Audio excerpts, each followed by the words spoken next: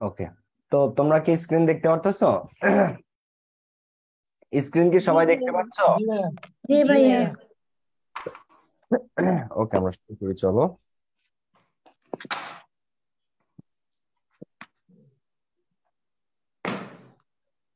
আমার শুধু শীত করে কানে। সিলেবাসটা দেওয়ার কথা ছিল। ফার্স্ট পেপার সেকেন্ড পেপার দিলেন না তো ভাইয়া। ফার্স্ট পেপার সেকেন্ড পেপারে কি দেওয়ার কথা ছিল ভাইয়া? ভাই সাজেশনটা তো দিলেন না সাজেশনের পিডিএফ দেন নাই ভাইয়া। আচ্ছা এখনই দিয়ে দিচ্ছি রুকো যারা সাজেশনের পিডিএফ চেক ইট নাও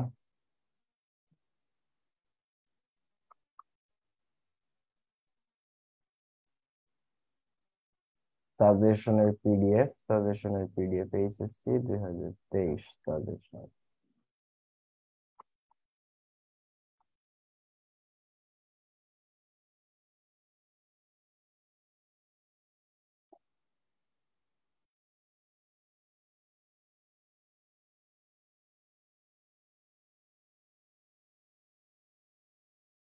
আচ্ছা দেখো, আমি জুমের চ্যাট লিস্টে দিয়ে দিচ্ছি, আবার ফেসবুকেও দিয়ে দিচ্ছি, ঠিক আছে? ওকে দিয়ে দিচ্ছি দেখো জুমে আর আমি ফেসবুকেও দিয়ে দিচ্ছি এটা এখনই। দেখো, দিয়ে দিছি জুমে দিয়ে দিছি ফেসবুকেও দিয়ে দিছি top ten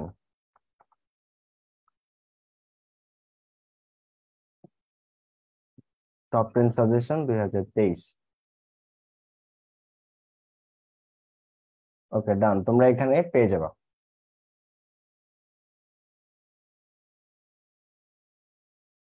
ফেসবুকেও দিয়ে দিছি জুমেও। জুমের পাসওয়ার্ড কি? জুমের পাসওয়ার্ড গ্রুপে দেয়া আছে তুমি চেক করে নাও। জুমের পাসওয়ার্ড গ্রুপে দেয়া আছে তুমি চেক করে নাও। আচ্ছা আমার ভয়েস ক্লিয়ারলি শোনা যাচ্ছে? আমার কথা ক্লিয়ারলি শোনা যাচ্ছে? এখন কি? জি আচ্ছা অলরাইট ঠিক আছে। তাহলে চলো আমরা আগে সিনোনিম অ্যান্টোনিম দেখি, কারণ তোমাদের আট দাগে আসবে সিনোনিম অ্যান্টোনিম নয় দাগে আসবে পাংচুয়েশন মানে ইউজেস অফ ক্যাপিটালস তো তোমাদের অনেক দিন পর ক্লাস নিচ্ছি। আমি খুবই সরি আর আর ক্লাস মিস হবে না। ঠিক আছে? তোমাদের ক্লাস ছিল রবি মঙ্গল বৃহস্পতি আবার এখন থেকে রবি মঙ্গল বৃহস্পতি ক্লাস চলবে, শেষ না হওয়া পর্যন্ত। সো গ্রামার সিনোনিম অ্যান্টোনিম এখন দেখো সিনোনিম অ্যান্টোনিম পরীক্ষায় আসবে তোমাদের আট দাগে, কারণ আগে আসতে এগারো দাগে, কিন্তু তোমাদের তো শর্ট সিলেবাস শূন্যস্থান থাকে, শূন্যস্থান তো না মানে দশটা থাকে। পাঁচটা সিনোনিম থাকবে, পাঁচটা অ্যান্টোনিম থাকবে। মার্কস হচ্ছে ফাইভ সিনোনিম অ্যান্টোনিম আসবে আট দাগে, দশটাতে পাঁচ মার্ক দশটার মধ্যে পাঁচটা সিনোনিম থাকবে এবং পাঁচটা অ্যান্টোনিম থাকবে। ফাইভ আউট অফ ফাইভ পাওয়ার জন্য এখানে কোনো গ্রামার নাই, কোনো রুলস নাই, কোনো লস নাই, কিছু নাই। একমাত্র কি জানতে হবে? ভোক্যাবুলারি কি জানতে হবে? ভোক্যাবুলারি যদি তুমি ভোক্যাবুলারি জানো অটোমেটিকলি সিনোনিম অ্যান্টোনিম তুমি পারবা। তোমার যত বেশি ভোক্যাবুলারি জানা থাকবে, এই টপিকে ভালো করার সম্ভাবনা তোমার তত বেশি। তবে আমি এখানে তোমাদেরকে একটা সিক্রেট বলে দিই। সেটা হচ্ছে যে সিনোনিম ম্যাক্সিমাম টাইম বিগত বছরের থেকে আসে। দশটার মধ্যে ছয়টাই প্রিভিয়াস ইয়ার্স থেকে আসবে। তো তুমি যদি আমার বই তোমার কাছে থেকে থাকে, দেখো, এই যে তোমাদের, এটা হচ্ছে দুই হাজার ষোলো সালে ঢাকা বোর্ডের কোয়েশ্চেন এই কটা, আমি বাংলা অনুবাদ সহ এখানে দিয়ে দিচ্ছি, এগুলো তুমি পড়বা। অ্যাকসেপ্টেড মানে গৃহীত এটার অ্যান্টোনিম কি রিজেক্টেড সিনসিয়ারিটি আন্তরিকতা এটার অ্যান্টোনিম কি রেসপন্সিবিলিটি দায়িত্ব, কর্তব্য, এটার অ্যান্টোনিম কি এগুলা। তুমি বাসায় বসে এটা পড়বা। কুমিল্লা বোর্ড দুই হাজার ষোলো এই দশটা আসছে নেভার মানে কখনোই না, এটার অ্যান্টোনিম কি অলওয়েজ অ্যান্টোনিম কি অলওয়েজ উইকার মানে দুর্বল তোর, এটার অ্যান্টোনিম কি স্ট্রঙ্গার কি? স্ট্রঙ্গার ডিসকারেজ মানে ওয়ান উৎসাহ এটার অ্যান্টোনিম কি বিপরীতার্থক শব্দ কি? ডিসকারেজের অ্যান্টোনিম এনকারেজ বা মোটিভেট মানে কাউকে উৎসাহিত করা, অনুপ্রেরণা দেয়া। ওকে সো প্রত্যেকটা এইভাবে ঠিক আছে? এখানে যেগুলো আছে, এগুলো যদি তুমি পড়ো দুই হাজার ষোলো সাল থেকে দুই পর্যন্ত, তাহলে এর মধ্যে থেকে হান্ড্রেড তুমি কমন পাবা। তো এটার সলিউশনও দেয়া আছে।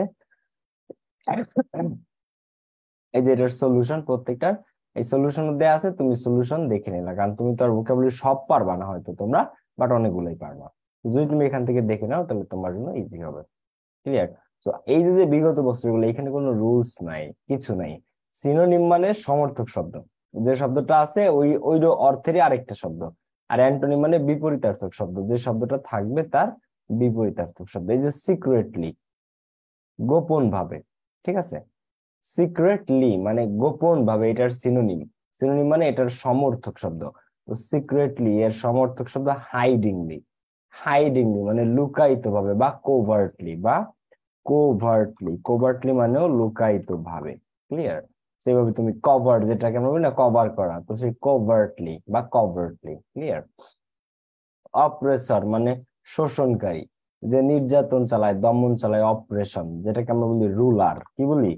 রুলার রুলার অথবা বলতে পারো, এই অপ্রেসরের জায়গায় বলতে পারো হচ্ছে ডিকটেটর কি? ডিকটেটর মানে শোষণকারী, শাসনকারী এমন ক্লিয়ার এইভাবে প্রত্যেকটা তোমাদেরকে পড়তে হবে। এখানে আসলে কোনো রুলস নাই বা বোঝানোর মতো। জাস্ট তোমার নিজেরা একটু প্র্যাকটিস করলে হবে। তোমরা কি বুঝতে পারছ না পারো নাই? এই পাঁচ মার্কটা? আচ্ছা পিডিএফ দিয়ে দিছি তোমাদের গ্রুপে এই পাঁচ মার্কটা ডিপেন্ড করে বেসিক্যালি তোমার ভোকাবুলারি জানার উপর। আর আর যেগুলো আছে বইতে এগুলো প্র্যাকটিস করবা। ফ্রেন্ড মানে বন্ধু এটার অ্যান্টোনিম কি? ফো মানে শত্রু। ফ্রেন্ড আর ফো নিড মানে প্রয়োজন। এটার অ্যান্টোনিম আনএসেনশিয়াল মানে প্রয়োজন নয় এমন। সিম্প্যাথি মানে সহানুভূতি।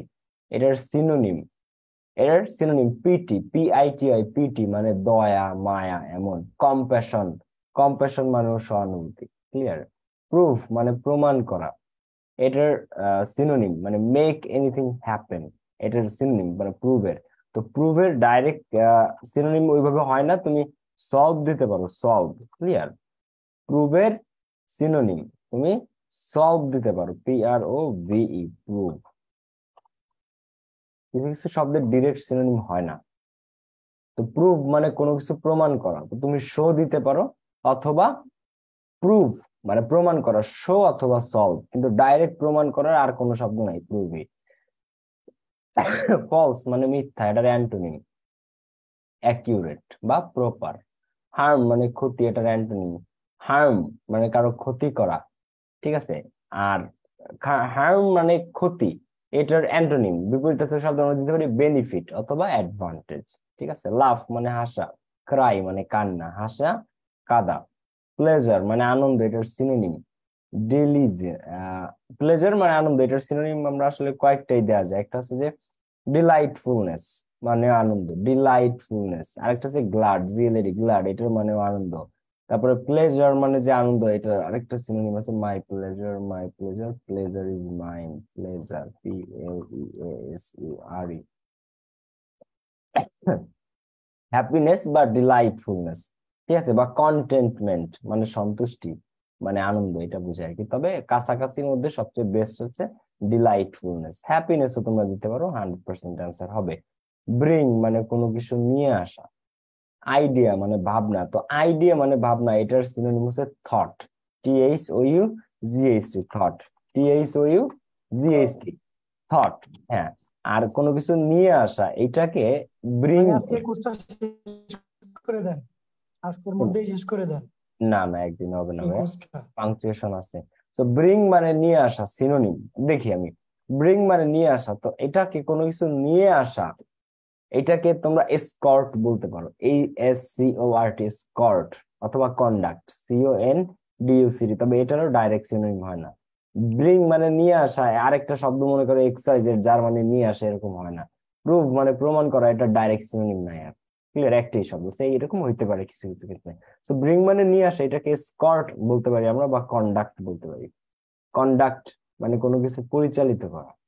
পরিচালিত করা মিন্স একটা জিনিস তোমার মতো করে ঘটানো এটা আরেকটা আছে স্কট স্কট মানে কাউকে, ওই যে বল না সেলিব্রিটিদেরকে স্কট করা হয়, ঠিক আছে?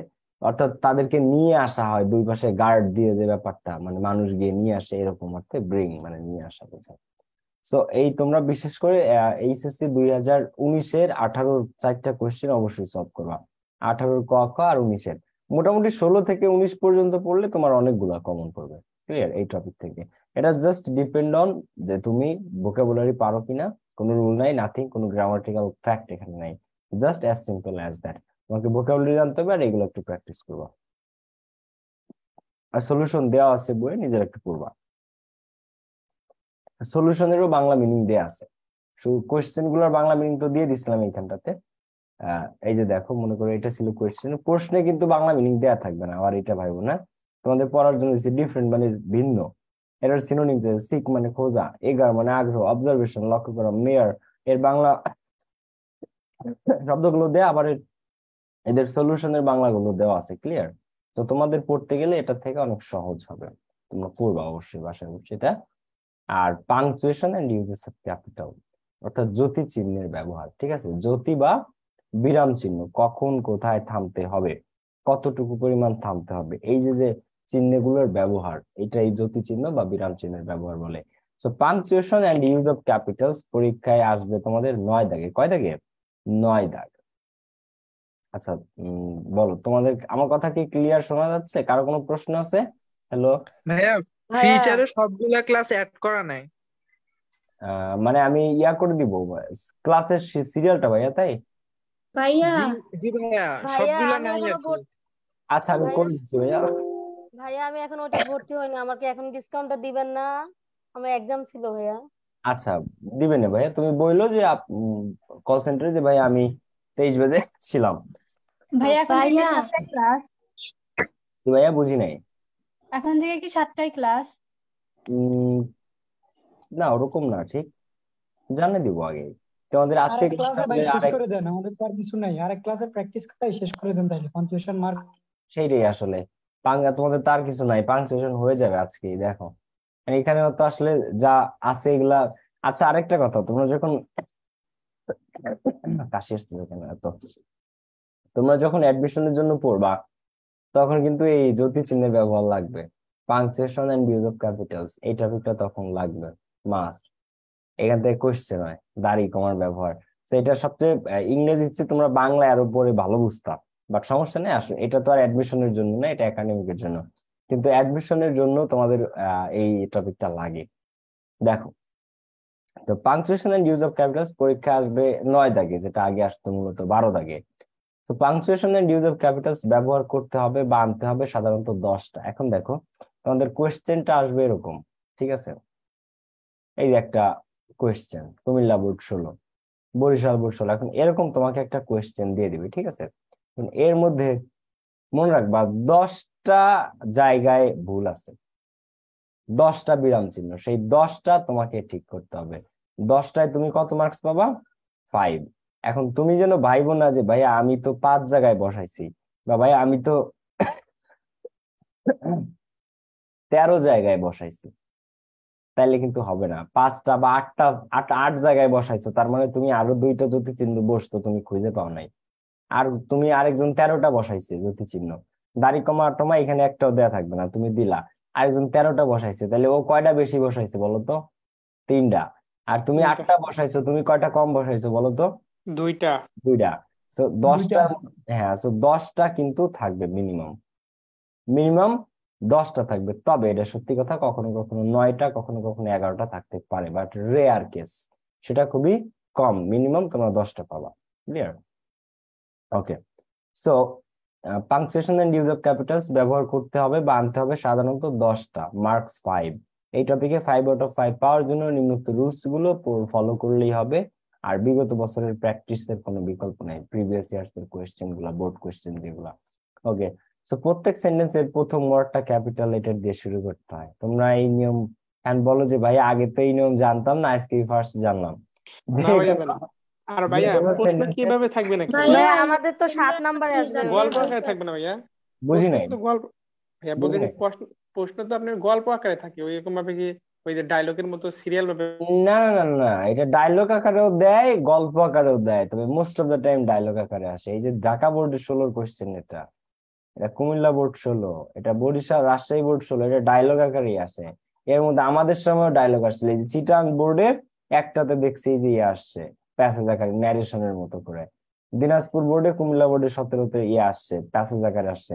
আবার ঢাকা বোর্ডের সতেরোতে ডায়লগ রাজশাহী বোর্ডের সতেরোতে ডায়লগ ইয়া। ডায়লগের মতোই। তারপরে দিনাজপুর বোর্ডে দুই হাজার সতেরোতে ডায়লগ চিটাং বোর্ড দুই হাজার সতেরোতে ডায়লগ আবার সিলেট বোর্ডে প্যাসেজ বরিশাল বোর্ডে আবার ডায়লগ এইচএসসি দুই হাজার আঠারো ক সেটে দিছে ইয়া। প্যাসেজ খ সেটে আবার দিছে ডায়লগ উনিশ সালে ক, খ দুইটাই ডায়লগ ক্লিয়ার তো তোমরাই বলো প্রবাবিলিটি কোনটা? সম্ভাবনা বেশি কোন কোন ভাবে আসার? প্যাসেজ না ডায়লগ বলো। ডায়লগ হ্যাঁ ডায়লগ ডায়লগ আকারে এটা ডায়লগ আকারে আসে সাধারণত প্যাসেজ আকারে কম ভেরি রেয়ার আটটা বোর্ডের মধ্যে দেখা যাচ্ছে একটা দুইটা বোর্ডে প্যাসেজ আসতে পারে আর ছয়টাতেই ডায়লগ ক্লিয়ার সেরকম একটা ডায়লগ আকারে এর মধ্যে তোমাকে দশটা জ্যোতি চিহ্ন ব্যবহার করতে হবে ক্যাপিটাল লেটার দাড়ি, কমা, কোলন, সেমিকোলন, হাইফেন। প্রত্যেক সেন্টেন্সের প্রথম ওয়ার্ড যে কোনো সেন্টেন্সের ফার্স্ট যে ওয়ার্ডটা, সেটা ক্যাপিটাল লেটার দিয়ে শুরু করতে হয়। কি দিয়ে? Capital letter. যেমন এই যে একটা সেন্টেন্স, এর প্রথম ওয়ার্ড দা। এর প্রথম ওয়ার্ড কি? দা। সো এই যে যে দা, এর টিটা হবে ক্যাপিটাল লেটার দিয়ে। এই টিটা কি দিয়ে হবে? ক্যাপিটাল লেটার দিয়ে। কি পড়াচ্ছি? নিজেরই লজ্জা লাগে। She loves both singing and dancing দেখো the name of my country Sweden আমার দেশের নাম Sweden. She loves both singing and dancing সে গান গাওয়া এবং নাচা দুইটাকেই ভালোবাসে। সে এখানে কি আছে? এস কি আছে? এস তো এই এসটা বড় হাতের হবে। মানে যে কোনো সেন্টেন্সের প্রথম যে অক্ষরটা, প্রথম ওয়ার্ডের ফার্স্ট যে লেটারটা সেটা ক্যাপিটাল লেটার দিয়ে শুরু হয়। বা ফার্স্ট ওয়ার্ডটা ক্যাপিটাল লেটার দিয়ে শুরু হয়। সেন্টেন্স সম্পূর্ণ শেষ হওয়া বোঝাতে ফুল স্টপ ব্যবহৃত হয়। একটা সেন্টেন্স সম্পূর্ণ শেষ। তো এখানে শেষটা বুঝাইতে কি দিতে হয় full stop the little children are playing football in the field ফিল্ডে এসে সেন্টেন্সটা শেষ। তো এখানে কি দিব একটা? Full stop Roni has score GPA five in HSC examination Roni GPA pass পেয়েছে এইচএসসি পরীক্ষায়। Roni has score GPA five in HSC examination মানে হচ্ছে রনি এইচএসসি পরীক্ষায় জিপিএ পাস পেয়েছে। এই এক্সামিনেশন এসে সেন্টেন্সটা শেষ। এখানে আমরা কি দিব একটা? ফুল স্টপ কি দিব একটা? ফুল স্টপ আচ্ছা তোমরা কি আমার কথা শুনতেছো এবং ক্লিয়ারলি বুঝতেছো? আমার কথা কি শোনা যাচ্ছে এবং তোমরা কি বুঝতেছো? একটু বলো। জি ভাইয়া। শোনা যাচ্ছে। ওকে সেন্টেন্সে একই পার্টস অফ স্পিচ একাধিক আসলে প্রত্যেকটার পরে কমা বসে এবং সর্বশেষটার আগে এন্ড বসে দেখো। সেন্টেন্সে একই পার্টস অফ স্পিচ যদি একাধিকবার আসে তাহলে প্রত্যেকটার পর কমা বসে এবং সর্বশেষ যেটা সেটার আগে বসে এন্ড সর্বশেষ যেটা সেটার আগে কি বসে? এন্ড হর্স যেমন ধরো একই পার্টস অফ স্পিচ মানে নাউন পর পর পর পর আসতেছে। আবার অ্যাডজেক্টিভ পর পর পর পর পর আসতেছে। তাহলে প্রত্যেকটার পরে কমা তাহলে প্রত্যেকটার পরে কি? কমা হর্স কাউ হর্স মানে ঘোড়া নাউন কাউ গরু নাউন গোট মানে ছাগল নাউন ডগ মানে কুকুর নাউন অ্যান্ড ক্যাট আর ক্যাট মানে বিড়াল। তো এই প্রত্যেকটা একই পার্সন প্রত্যেকটাই নাউন প্রত্যেকটাই কি? নাউন তো এই প্রত্যেকটা নাউনের আগে কমা বসবে এবং সর্বশেষটার আগে কমা না। সর্বশেষটার আগে কি? দিতে হয় অ্যান্ড এটা আমরা প্যাসেজ পড়তে গেলে সাধারণত দেখে থাকি। না লাস্টেরটার আগে কি থাকে? ভাইয়া কোর্স কি আজকে শেষ করে দিবেন? আহ দেখি ভাই আমি পড়াইতে থাকি না ভাইয়া আমাদের লেটার লেটার জন্য দিবেন। কি আবার পড়াবেন না? না আপু এই ব্যাচে টেস্ট পেপার পড়ানোর কথা ছিল না আপু আর আচ্ছা, টেস্ট টেস্ট পরীক্ষার পরে গিয়ে আপু এখন তোমরা টেস্ট পেপার পড়ালে বুঝবা না। আর টেস্ট পেপার অনেক ডিফিকাল্ট হয় আপু। তোমাদের আরেকটু ম্যাচিউরড হইতে হবে। মানে আরেকটু পড়াশোনা করতে হবে আরেকটু জানতে হবে আরেকটু ভালো পারতে হবে টেস্ট পেপার পড়তে গেলে। এখন টেস্ট পেপার পড়তে গেলে তোমরা হতাশ হয়ে যাবা। বুঝছ? আর এমনি টেস্ট পেপারের একটা কোর্স আছে যেটা হয়েছিল ক্লাসগুলো শিডিউল করা আছে। তুমি ভর্তি হইলে ওই ভর্তি হয়ে নিজে পার্সোনালি করতে পারো ক্লাসগুলো রেকর্ডেড সব সিরিয়াল করা আছে। কিন্তু এখন যদি তোমাদেরকে আমি টেস্ট পেপার করাইতে যাই এটা টু ফাস্ট তোমাদের জন্য। এটা অনেক আগে হয়ে যায়, বুঝতে পারছ? টু আর্লি ওকে তো সেন্টেন্সে একই পার্টস অফ স্পিচ একাধিক আসলে প্রত্যেকটার পর কমা বসে এবং সর্বশেষটার জ্ঞান বসে। তো হোয়াটস এরপরে কমা কাউ এরপরে কমা গোট এরপরে কমা ডগ অ্যান্ড ক্যাট লাস্টেরটা ক্যাট সো লাস্টেরটার আগে অ্যান্ড করবে কমা না। তো এটা মনে রাখবে। আর very popular domestic animals in our country তো এগুলা খুবই জনপ্রিয় ডোমেস্টিক অ্যানিমালস গৃহপালিত প্রাণী ইন আওয়ার কান্ট্রি আমাদের দেশে। হি ওয়াজ অথর সে ছিল লেখক অ্যাক্টর অভিনেতা পেইন্টার চিত্রকর সিঙ্গার মানে গায়ক অ্যান্ড ড্রামাটিস্ট এবং নাট্যকর অ্যাট এ টাইম একই সময়ে। তো একই সময় বা একসাথে সে- ছিল লেখক, তারপরে অভিনেতা, চিত্রশিল্পী, গায়ক এবং নাট্যকার, মনে করো হুমায়ুন আহমেদ।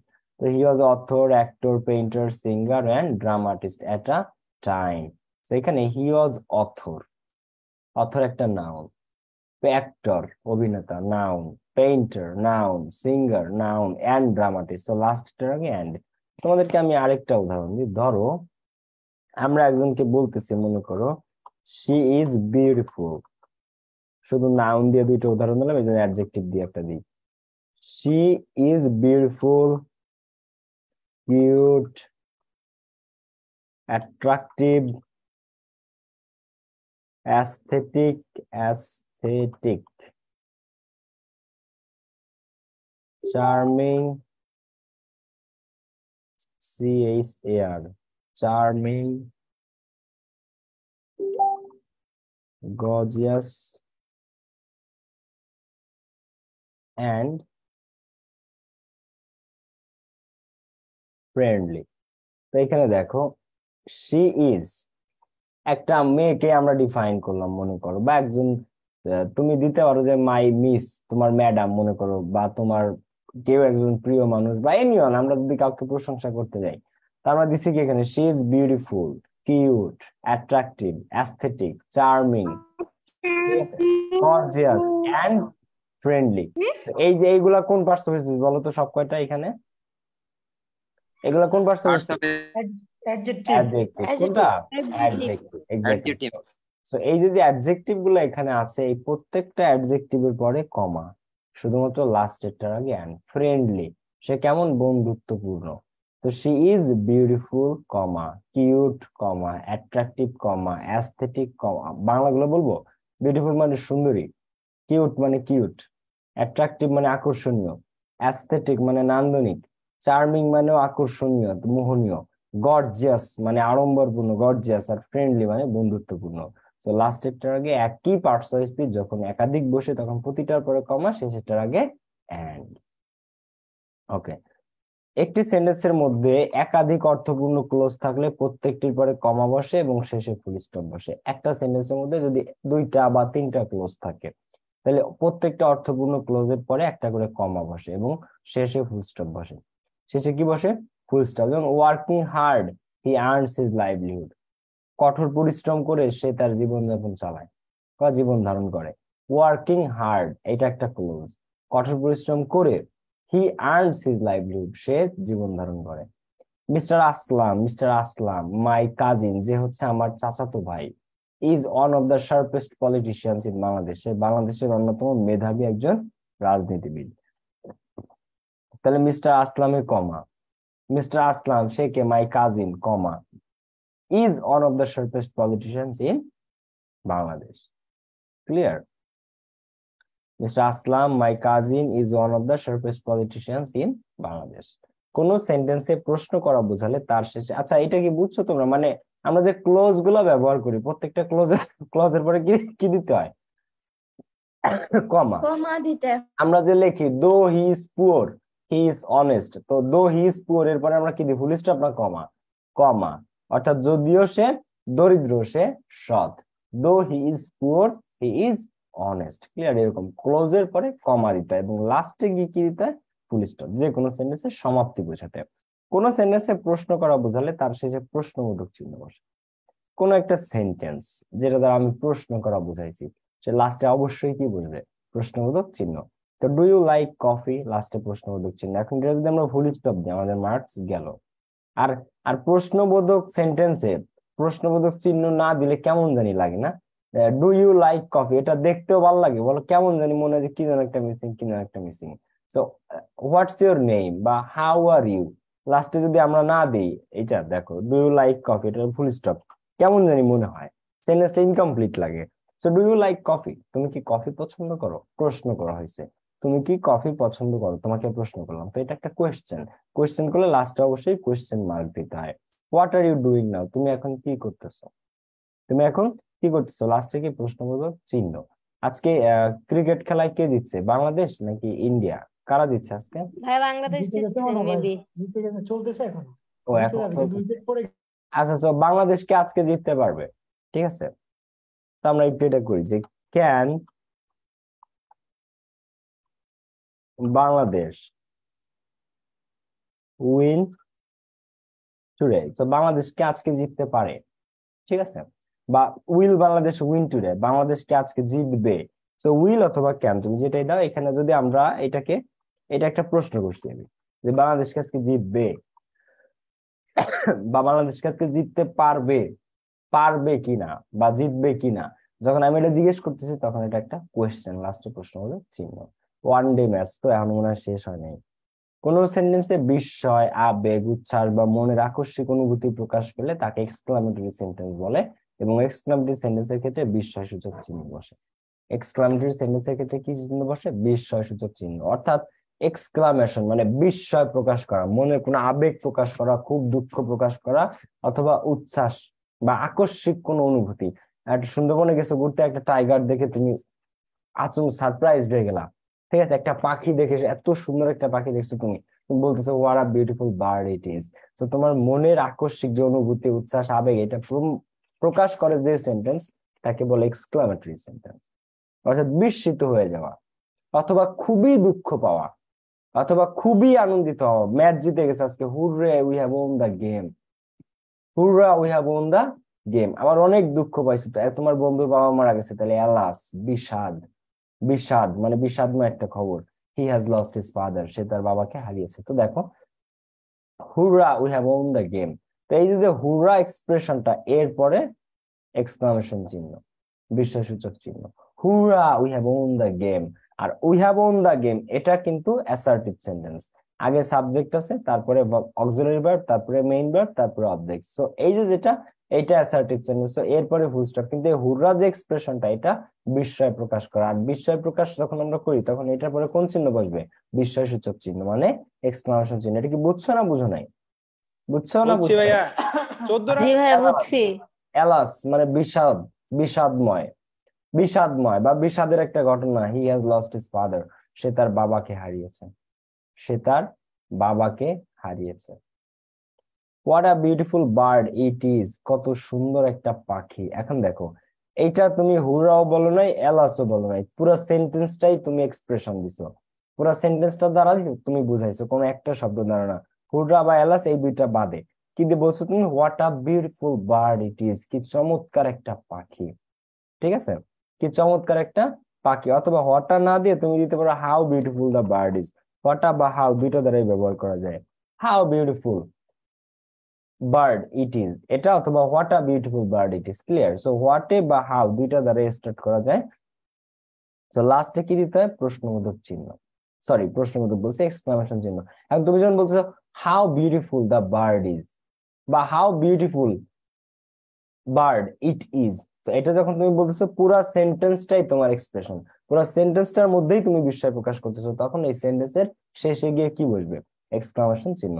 আর এই যে সেন্টেন্সটা দেখো এটা কিন্তু ইন্টারোগেটিভ না। মানে তোমাকে কিন্তু কোয়েশ্চেন করে নাই যে what a beautiful bird it is এটা মানে হচ্ছে কি চমৎকার একটা পাখি। এটাকে আমি আহ, মানে কোনো প্রশ্ন করছি নাকি আমি উচ্ছ্বাস প্রকাশ করতেছি মনের কোনটা? কোনটা বলো? কি চমৎকার উচ্ছ্বাস। এটা কিন্তু কোনো কোয়েশ্চেন না। তোমরা মনে করতে পারো ওয়ার্ড দেখে দেবে এটা ডব্লিউএস ওয়ার্ড ডব্লিউএস ওয়ার্ড থাকলে তো লাস্টে প্রশ্নবোধক চিহ্ন দিতে হয়। কোয়েশ্চেন মার্ক দিতে হয়। কিন্তু এটা কিন্তু ডব্লিউএস ওয়ার্ড হইলেও এটা কিন্তু কোয়েশ্চেন করে না। এটা উচ্ছ্বাস প্রকাশ করছে, আকস্মিক অনুভূতি। পাখিটা দেখে what a beautiful bird it is ঠিক আছে? আমরা ম্যাচ দেখে এমন সারপ্রাইজড হয়ে যাই, তখন আমরা লিখি what a match what a match clear লাস্টে প্রশ্নবোধক চিহ্ন। মাঝে মাঝে যখন ক্যাচ ধরে, এমন সব ক্যাচ যেটা ধরা প্রায় অসম্ভব। তো আমরা বলি না what a catch what a catch মানে কি লেভেলে একটা ক্যাচ ধরছে, ঠিক আছে? What a catch what a match যখন আমরা খুব এনজয় করি। তারপরে এমন একটা কিক করছে যেটা আনবিলিভেবল মানে থ্রি সিক্সটি ডিগ্রিতে ঘুরা এমন ভাবে একটা কিক করছে, বলে what a kick what a kick একটা গাড়ি যাচ্ছে রাস্তায়, অসাধারণ what a car what a car clear এরকম। তো এটার পুরা মিনিংটা আছে what a car it is ঠিক আছে? It is what a match it is what a catch it is what a bike it is ঠিক আছে? তো what a match it is what a catch it is এর প্রত্যেকটা আকস্মিক অনুভূতি উচ্ছ্বাসিত হয়ে গেছে তুমি। What a car it is কি চমৎকার একটা গাড়ি। তোমরা কি বুঝছ না বুঝো নাই? ক্লিয়ার সাজেশনের আনসার দিলেন না। সাজেশনের অ্যান্সার আপনি আমি বুঝি নাই আপু। সাজেশন মানে এই যে উইদাউট ক্লু এগুলা যে দিচ্ছেন এগুলার আনসার দিলেন না। কোন উইদার ও সাজেশনের উইদাউট ক্লু গুলা, তোমাদের, দেখো, এটা একটু রেডি হয়ে আসতে সময় লাগবে আপু, কারণ সবগুলা বোর্ডের কোশ্চেন আমি একসাথে হাতে পাই না। তো এইগুলো আমার ওই কোয়েশ্চেনগুলো থেকে টাইপ করব টাইপ করে তারপরে এটা আর কি মানে কোনো ব্যাচকে এটা এখনও দিতে পারিনি আপু, শুধু তোমার না। মানে ও বলতেছে কি যে সাজেশনের মধ্যে যে পনেরোটা উইথ ক্লুজ উইদাউট ক্লুজ আছে, ওইটার পিডিএফ বা ওইটার সলিউশন আছে কিনা, ও এটা বলছে, ঠিক আছে? কিন্তু দেখি মার্কেটে কোনো বইতে আসছে কিনা। এত দ্রুত আসে নাই কারণ এখনও পরীক্ষা শেষ হয় নাই পরীক্ষা শেষ হইলে তারপরে সব আর্টস কমার্স সায়েন্স সব সাবজেক্টের কোয়েশ্চেনগুলো নিয়ে নিয়ে তারপরে গাইড করা হয়। সো এটা তো এখনও পরীক্ষা শেষ হয়নি। সায়েন্সের পরীক্ষা কবে শেষ? সায়েন্সের আট তারিখে নাকি তেরো তারিখে? তেরো তারিখে। তেরো তারিখে না? Okay. দেখো আচ্ছা এটা কি বুঝছ তোমরা? What a match what a catch how beautiful the bird is এটা কি বুঝছ?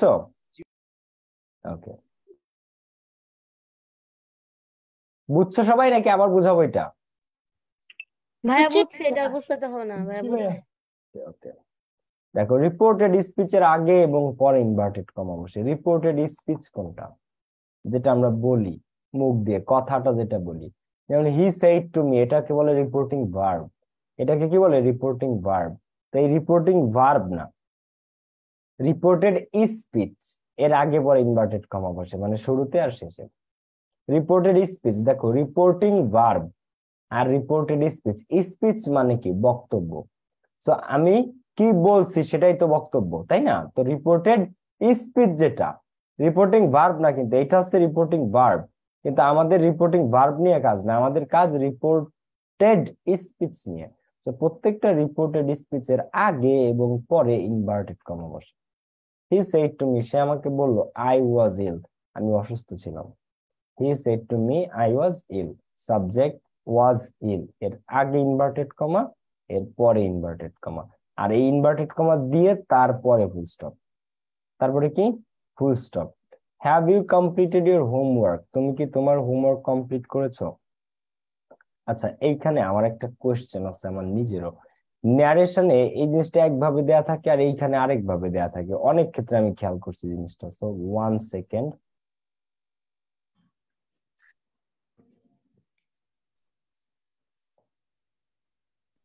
ন্যারেশন ছয় নম্বর টপিক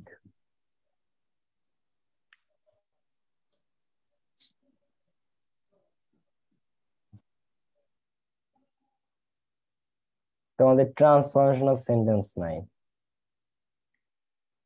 আমি বুঝি না একবারও শর্ট সিলেবাসে ট্রান্সফরমেশন অফ সেন্টেন্সও দেয় না, তারপরে ইয়াটাও দেয় না। আরেকটা টপিক আছে, ওটার নাম হচ্ছে যে প্রোনাউন রেফারেন্স একটা শর্ট সিলেবাস দেয় নেই যা যা দেয় তাইতেই ঘুরাই ফিরাই দেয়। কিন্তু যে টপিকগুলা বাদ চিরন্তন বাদ। আরও বাদ দিলে তো আরও ভালো ভাইয়া। মানে সব বাদ দিয়ে দিলেই ভালো হয়। শুধু একটা রাখলেই হয় একটা না না না মানে ওই জিনিসগুলো দেয়ই ভালো না। আচ্ছা ভাই আমাদের কি পঞ্চাশ মার্কের পরীক্ষা হবে? ওই যে দেখলাম কিছুদিন আগে যে পঞ্চাশ মার্কের পরীক্ষা নেওয়ার জন্য নাকি স্মারকলিপি টিপি জমা দিতে দিলে কিনা। দিলে হ্যাঁ, তোমাদের এক্সাম এরপর তিনটা এক্সাম আমাদের একসাথে। ওটা একটা রিপোর্ট করছে দেয় নাই তো। আমাদের কি রিপোর্ট করছিল একটা একটা এক্সাম দিতে দিতেই শেষ এটা কি পঞ্চাশ পরবর্তী- মার্কের হইতে পারে? শোনো হইতে পারে সম্ভাবনা আছে হইতে পারে। হইতে পারে তবে তোমাদেরকে আমি একটা কোয়েশ্চেন করি। চব্বিশ ব্যাচকে কি শর্ট সিলেবাস দিবে তোমরা কি মনে করো? এই যারা এখন এই না, না, আঠাশ তারিখে এসএসসি পাস করছে। দিতে পারে ভাইয়া বলা যায় না। আমরা কেমনে বলব ভাইয়া? আমাদের শুনতে- শুনতে হবে। দিবে না ভাইয়া শিওর এটা বলেই দিছে আগে। দিবে না কারণ না দেওয়ার সম্ভাবনাটাই বেশি। কারণ করোনা বিশ সালের করোনা একুশ সালেও ছিল। বাইশ সালে তো এই বছর করোনার তো তেমন কিছু ছিলই না। ঠিক আছে? আর এখন তো তেইশ সাল চলে আসছে। তো আমার মনে হয় না যে শর্ট সিলেবাস দিবে। আবার শর্ট সিলেবাস না দিলে ফুল সিলেবাসে ওরাও মানবে কিনা এটা একটা বিষয়। কারণ সবগুলা ব্যাচ রে শর্ট সিলেবাস দিতে দিতে দিতে দিতে বাইশ ব্যাচ যে কি সিলেবাসে পরীক্ষা হয়েছে, তোমরা যদি দেখতা ভাই, ছয়টা দিছিল শর্ট সিলেবাসে সেই নয়টা টপিক দিছিল, সেই নয়টাতে পরবর্তীতে আরও তিনটা কমায়। আরও তিনটা কমায়, মাত্র ছয়টা টপিকে পরীক্ষা নিছে ওদের। ছয়টা গ্রামারে তিরিশ মার্ক আর রিটেনে বিশ ছয়টা গ্রামার অনলি মানে মুখস্থ করে গোলায় খেয়ে রেখে দেওয়া যায়। ক্লিয়ার এমন ভাবে ওকে সো দেখো রিপোর্টেড স্পিচের আগে এবং পরে ইনভার্টেড কমা বসে। সো মনে রাখবা, এই ফুল স্টপের পরে হবে এটা। আই ওয়াজ ইল আমি অসুস্থ। He said to me I was ill সে আমাকে বলল, আমি অসুস্থ। এটা রিপোর্টেড স্পিচ তো এই রিপোর্টেড স্পিচের আগে ইনভার্টেড কমা আমরা দিলাম। রিপোর্টেড স্পিচটা এটা যদি অ্যাসার্টিভ হয়, তাহলে এরপরে ফুল স্টপ হবে। এটা যদি ইন্টারোগেটিভ হয়, প্রশ্নবোধক হয়, তাহলে এখানে আমরা কি দিতাম? প্রশ্নবোধক চিহ্ন। কোয়েশ্চেন মার্ক যেমন ধরো আই ওয়াজ ইল না দিয়ে এখানে যদি কোয়েশ্চেনটা থাকতো যে ওয়াজ আই ইল তাহলে এটা প্রশ্ন করা। প্রশ্ন করা থাকলে আমরা এটা দিতাম। প্রশ্নবোধক চিহ্ন। তারপরে দিতাম ইনভার্টেড কমা মানে ইনভার্টেড কমা বসবে আগে এবং পরে। পরে মানে ফুল স্টপ থাকলে ফুল স্টপের পরে ইন যদি কোয়েশ্চেন মার্ক থাকে কোয়েশ্চেন মার্কের পরে। So I was ill full stop তারপরে লাস্টে গিয়া। Okay have you completed your homework teacher asked me শিক্ষক আমাকে জিজ্ঞাসা করল তো হ্যাভ ইউ কমপ্লিটেড তো হ্যাভ এর আগে তো দিতে কোনো সমস্যা নেই আমাদের। হ্যাভ দিলাম, এর আগে ইনভার্টেড কমা বসাইছি। Have you completed your homework এটা প্রশ্ন করা। তুমি কি তোমার হোমওয়ার্ক সম্পূর্ণ করেছ? তুমি কি তোমার হোমওয়ার্ক সম্পূর্ণ করেছ? এটা প্রশ্ন করছে। তো এখানে কি? চিহ্ন। চিহ্ন দিলাম আমরা কোয়েশ্চেন মার্ক কোয়েশ্চেন মার্ক দিয়ে এখানে ইনভার্টেড কমা আমরা বসাই দিলাম। So have you completed your homework এখানে কোয়েশ্চেন মার্ক দিয়ে তারপরে আমরা ইনভার্টেড কমা দিছি। টিচার আস্কড মি শিক্ষক আমাকে জিজ্ঞাসা করল। কোন শব্দের অক্ষর বাদ দিয়ে ছোট করতে চাইলে সে স্থানে অ্যাপোস্ট্রফি চিহ্ন বসে। এছাড়া পজিটিভ মানে সত্ত্বাধিকার বা মালিকানার ক্ষেত্রে অ্যাপোস্ট্রফি বসে। যেমন, কোন শব্দ অক্ষর, কোন শব্দের কোন অক্ষর আমরা বাদ দিতে চাচ্ছি। যেমন হোয়াট ইজ ইওর নেম এই হোয়াট ইজ ইওর নেম না লিখে আমরা হোয়াটস ইওর নেম বলি।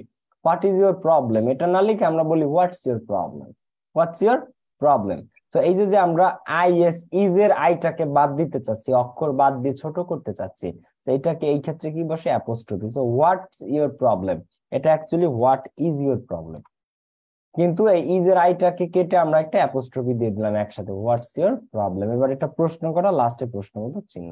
তোমার সমস্যা কি? লাস্টে প্রশ্নবোধক চিহ্ন। দিস ইজ করিমস হাউস এটা করিমের বাড়ি। দিস ইজ করিমস হাউস করিমদের বাড়ি এটা। সো করিমদের বাড়ি। তুমি যদি দেই করিমের সাথে অ্যাপোস্ট্রফি এস না দাও তাহলে দিস ইজ করিম হাউস মানে এটা করিম বাড়ি। এখন এটা কি করিম বাড়ি নাকি করিমদের বাড়ি বা করিমের বাড়ি? কোনটা? করিমদের বাড়ি। অথবা করিমের বাড়ি। কিন্তু করিম বাড়ি তো আর না। যেমন ধরো this is this is Trina house এখন একজনের নাম মনে করো ত্রিনা এখন এটা ত্রিনা বাড়ি না ত্রিনাজ হাউস। বাংলাদেশ মনে হয় জিতছে। মহল্লায় চিল্লা চিল্লি হচ্ছে খেলা দেখা নিয়ে। বাংলাদেশ মনে হয় জিতে গেছে না? মেবি খুব চিল্লা ফাল্লা শোনা যাচ্ছে। Anyway so this is Trina's house. এটা ত্রিনাদের বাড়ি। এটা ত্রিনাদের বাড়ি। ক্লিয়ার কম্পাউন্ডার সো এই ক্ষেত্রে দেখো এই পজিটিভ প্রোনাউন বুঝাইতে যে কাদের বাড়ি, কাদের ঘর, এই ধরনের। তোমার এটা মনে করো তোমার বাইক ঠিক আছে? তাহলে দিস ইজ তোমার নাম হচ্ছে ধরো যে রায়হান। তাহলে দিস ইজ রায়হান বাইক, তার মানে এটা রায়হান বাইক। মানে বাইকের নামই রায়হান রায়হান বাইক না, রায়হানস বাইক। রায়হানস বাইক। তোমাদেরকে আরেকটা দেখাই আমি। ধরো আমাদের এলাকার সবচেয়ে বিখ্যাত যে স্কুলটা, মেয়েদের ওইটার নাম হচ্ছে Binapani govt girls high school.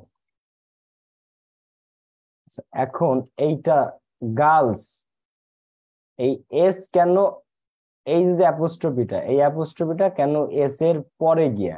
Girls মানে আর এল এল এর পরে হওয়া উচিত ছিল না এরকম হওয়া উচিত ছিল না কিন্তু পরে কেন বলো? না তার কারণ হচ্ছে এস এর পরে দেওয়া হয়েছে কারণ অনেকগুলো মেয়ে আছে সেই জন্য। হ্যাঁ এক্স্যাক্টলি কারণ এটা দিল কারণ এটা প্লুরাল একটা স্কুলে একটা হাই স্কুলে কি একটা মেয়েরে পড়ায় নাকি অনেক মেয়েদেরকে পড়ানো হয়? বলো একজনকে না অনেককে? বাংলাদেশ অনেককে। যদি একজন মেয়ের হইতো যে একজন মেয়েকে পড়ায় তাহলে Binapani gov girls high school তাহলে Binapani gov girls high school কিন্তু একজনকে না, অনেক মেয়েদেরকে পড়ায়। তো গার্লটা কি দেবে? গার্লস ঠিক আছে এস এর পরে অ্যাপোস্ট্রফি গার্লস আবার মনে করো এটা বয়েজ ঠিক আছে, আর ছেলেদের যে বিখ্যাত স্কুলটা, ওটার নাম হচ্ছে এস এম গভড বয়েজ ঠিক আছে, এখন বয়েজ এর ক্ষেত্রে আবার সেম তো বি ও ওয়াই এস দিয়ে তারপরে অ্যাপোস্ট্রফি আর যদি একজন বয় হইতো, তাহলে অ্যাপোস্ট্রফি হইতো কোথায়? ওয়াই এর পরে। কোথায় তো? ওয়াই এর পরে। পরে কিন্তু এখন কি সব এস এর পরে? ওকে কম্পাউন্ডার মানে যৌগিক শব্দ। অর্থাৎ যখন দুই তিনটা শব্দ মিলে একটা শব্দ হয়। তো এই কম্পাউন্ড ওয়ার্ডের একাধিক শব্দগুলোকে যুক্ত করতে একটা হাইফেন ব্যবহৃত হয়। কি একটা? হাইফেন ব্যবহৃত হয়। This is my father in law মানে ইনি হচ্ছে আমার শ্বশুর। This is my father in law father R in law আলাদা আলাদা তিনটা শব্দ। কিন্তু এই ফাদার আর ইন ল এটাকে একসাথে যুক্ত করতে মাঝখানে হাইফেন তো এটা যদি এইভাবে দেয় যে ফাদার ইন ল তিনটা শব্দ এইভাবে, তার মানে এটা, এটার মিনিং হচ্ছে ফাদার ইন ল ল মানে আইন, আইনের মধ্যে বাপ, কিন্তু আইনের মধ্যে বাপ না। যখন তুমি হাইফেন দিবা, তখন এটা বোঝায় ফাদার ইন ল মানে শ্বশুর। মানে কি? শ্বশুর। তুমি যদি এখানে মাদার ইন ল মানে শাশুড়ি, ঠিক আছে? ব্রাদার ইন ল মানে শালা। সিস্টার ইন ল মানে শালি ক্লিয়ার এরকম। He drives an old fashion car তো সে একটা পুরনো ধাঁচের গাড়ি চালায় ড্রাইভ করেন he drives an old fashion car old fashion ঠিক আছে? মানে অনেক পুরনো ধাঁচের। এই ওল্ড আর ফ্যাশনের মাঝখানে কম্পাউন্ডার আচ্ছা he drives a brand new car তাহলে he drives a brand B R A N D, brand new car, clear? তো এখানে brand R new, brand new car, clear? He drives a brand new car অথবা he drives a old fashion car. সবসময় proper noun এবং proper অ্যাডজেক্টিভের প্রথম অক্ষরটি capital লেটারের হয়। তো প্রপার নাউন বা প্রপার অ্যাডজেক্টিভ দ্বারা কি বোঝায়? প্রপার নাউন মানে কি? যেগুলা পৃথিবীতে একটা আছে এবং যেগুলা নির্দিষ্ট। যেগুলা পৃথিবীতে নির্দিষ্ট, ঢাকা। এটা নির্দিষ্ট একটা জায়গার নাম না পৃথিবীতে Bangladesh India China America USA Russia Japan Ukraine যত দেশের নাম আছে বা যত শহরের নাম আছে যা কিছু নির্দিষ্ট প্রপার নাউন প্রপার নাউন যেগুলো একটা জ্ঞাতি আছে সবগুলোর ক্ষেত্রে কি বসবে? কি বসবে? বড় হাতের অক্ষর। ফার্স্ট এটা ঢাকার বি আজীবন কি? বড় হাতের। বাংলাদেশের বি আজীবন কি? বড় হাতের। সিলেটের এস আজীবন কি? বড় হাতের। চিটাগং সি আজীবন বড় হাতের। তোমার নাম মনে করো ত্রিনা, আজীবনের টি কি? বড় হাতের। তৌসিফ টি বড় হাতের। আবির এ বড় হাতের। অনুপ, তুমি সব আমরা কি? প্রপার নাউন আমরা কি?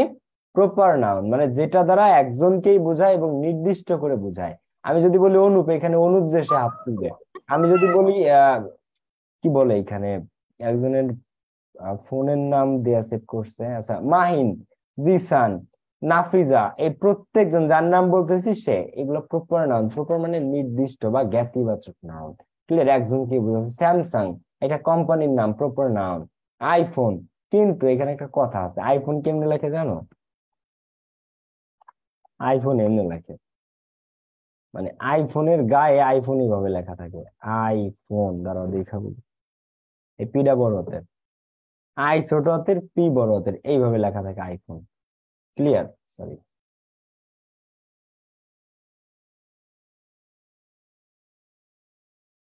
এইভাবে লেখা থাকে আইফোন, ক্লিয়ার? আইফোনেরটা আমি আসলে এইভাবে লেখা থাকে সব সময় স্যামসাং এর এস বড় হাতের গ্যালাক্সির এস বড় হাতের ভিভোর ভি বড় হাতের, চারটি ওরা বড় হাতের দেয় যদিও। তো কোম্পানির নাম, কথার কথা আর কি সব সময় কি বড় হাতের এখন আইফোনের আলাদা ডিফারেন্ট ছোট। আইফোন এইভাবে লেখা থাকে, আইফোনের গায়ে, এই যে। এখানে লেখা থাকে। তারপরে হচ্ছে যে আর কি, তোমরা বলো প্রপার নাউন যা নিউ ইয়র্কের এন ওয়াই বড় হাতের প্রথম আলো একটা পত্রিকার নাম, পি বড়তের, এ বড় হাতের ওয়াশিংটন পোস্ট বড়তের টাইমস ম্যাগাজিন টি বড়তের। ফোর্বস ম্যাগাজিন এফ বড়তের। এগুলো সব কি? প্রপার নাউন সব কি? বঙ্গোপসাগরের বি কি? বড়তের। পদ্মা সেতুর মানে পদ্মা রিভার পি কোন হাতের হবে বড় কোন হাতের হবে ক্যাপিটাল লেটারের বুঝছ না? দেশের নাম বলে তো বড় হাতের যে কোনো কিছুর নাম আপু নাম বা জ্ঞাতিবাচক যে কোনো কিছু তোমার নাম আমার নাম নদীর নাম দেশের নাম রাজধানীর নাম শহরের নাম মুদ্রার নাম সব বড় হাতের সব। ক্লিয়ার যার দ্বারা কোনো জ্ঞাতি বা নাম বোঝায় যা কিছু নির্দিষ্ট যে কোনো কিছুর নাম এক কথায় এক কথায় সেটা কি? বড় হাতের। বুঝছ না বুঝো না আপু? ক্লিয়ার বুঝছি ক্লিয়ার আচ্ছা তো এটাকে বলে প্রপার নাউন মানে নাম বা জ্ঞাতিবাচক। আমার নাম পাবেল আমার পি বড় হাতের হবে। ঠিক আছে? এরকম, তোমার নাম অনিক, এ বড় হাতের হবে। এই আমাদের বাণিজ্যিক রাজধানী, মনে করো চিটাং, সি বড় হাতের হবে। বেনাপোলের বি বড় হাতের হবে। যশোরের যে বড় হাতের হবে। ঠিক আছে? ময়মনসিংহের এম বড় হাতের হবে। গাজীপুরের জি বড় হাতের হবে। আচ্ছা এরপরে প্রপার অ্যাডজেক্টিভ কোনগুলাকে বলে? চায়না। তাই না একটা দেশের নাম, সি বড় হাতের। কিন্তু আমি চায়নাকে না বুঝায় চায়নার মানুষকে বলতেছি বুঝাচ্ছি। তাহলে চাইনিজ সেটাকে আমি কি বলি? চাইনিজ। তাহলে এই চাইনিজের যে বলতেছি এই চাইনিজটাকেই বলে প্রপার অ্যাডজেক্টিভ চায়না থেকে চাইনিজ মানে চাইনিজ পিপুলদের বোঝায়। আমি যদি বলি জাপানিজ তাহলে কোন দেশের মানুষকে বোঝায়? জাপান যদি আমি বলি আমেরিকানস তাহলে কোন দেশের মানুষকে বোঝায়? আমেরিকা আমেরিকার মানুষকে। তো এইগুলাকে বলে প্রপার অ্যাডজেক্টিভ চাইনিজ জাপানিজ হাতি আসবে। কোরিয়ান আমেরিকার Australian Canadian Russian Ukrainian Indian Bangladeshi Nepali Burmese এই সব দ্বারা কি বোঝায়? প্রপার অ্যাডজেক্টিভ বিভিন্ন জাতিকে বোঝায়। কাকে বোঝায়? বিভিন্ন জাতিকে। তোমরা কি বুঝছ না বুঝো নাই? ব্রিটিশ ব্রিটিশ বা ইংলিশ ব্রিটিশ আচ্ছা ইংলিশের ই। আজীবন বড় হাতের। বইয়ের মধ্যে খাতার মধ্যে তুমি একটা লেখা লিখতেছো একটা সেন্টেন্সের মাঝখানে ইংলিশ বসছে তারপরে ইংলিশটা কোন হাতের হবে? বড় হাতের কারণ ইংলিশ কি? প্রপার নাউন একটা ভাষা এবং একটা জাতিকে বোঝায়। দুই ক্ষেত্রে ইংলিশ কি? প্রপার নাউন বুঝছ না বুঝো নাই? ভাষার নাম হিসেবে okay clear okay so proper adjective হচ্ছে জাতির নামগুলা। জাপানি Chinese Australian American Canadian British Russian Ukrainian ঠিক আছে? নেপালি বার্মিজ বাংলাদেশি পাকিস্তানি, আফগানি, এই সব। তারপরে দেখো, মাসের নাম, দিনের নাম। বিখ্যাত ঐতিহাসিক ঘটনার প্রথম অক্ষরটি ক্যাপিটাল লেটারের হয়। মাসের নাম, যে কোনো মাসের নাম, জানুয়ারি থেকে শুরু করে ডিসেম্বর পর্যন্ত সব আজীবন বড় হাতের। যে কোনো দিনের নাম বড় হাতের। Saturday, Sunday, Wednesday, Thursday, Friday, everyday মানে প্রত্যেকটা যেটা, এভরিডে বাদে, এভরিডে মানে তো প্রতিদিন। মানে যে সাতটা নাম, Friday. Saturday Sunday Tuesday Wednesday Thursday Friday ঠিক আছে? এই সবগুলা, এই সাতটা নামের দিনের নামই কি? বড় হাতের বারোটা মাসের নাম বড় হাতের বিখ্যাত ঐতিহাসিক কোনো ঘটনা? ওয়ার্ল্ড ওয়ার ওয়ান বা ফার্স্ট ওয়ার্ল্ড ওয়ার প্রথম বিশ্বযুদ্ধ। দেখবা ডব্লিউ বড় হাতের world war two world war two দেখবা ডব্লিউ ডব্লিউ গুলা বড় হাতের আমি একটু দেখাই দিই তোমাদেরকে। প্রথম বিশ্বযুদ্ধ ওয়ার্ল্ড ওয়ার ওয়ান যেমন এখানে খেয়াল করো ওয়ার্ল্ড ওয়ার ওয়ান, ঠিক আছে? আর দ্বিতীয় বিশ্বযুদ্ধ।